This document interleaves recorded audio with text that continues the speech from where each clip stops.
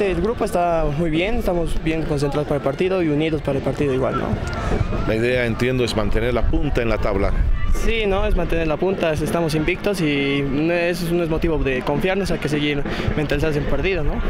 ¿Cómo ha sido el trabajo estos días del carnaval? Ha sido intenso, hemos seguido trabajando en días de carnaval, ya que aquí en Oruro se festeja mucho el carnaval, pero hemos seguido trabajando nosotros en el turno de la tarde y en la mañana, ¿no? ¿Qué me puedes decir del rival de este fin de semana? Eh, que no nos confiemos, ¿no? Porque es un rival difícil, todos son difíciles, a pesar que tuvo un tropiezo grande entre partidos, todos son difíciles, ¿no? Y es otro partido. Minuto cero en acción.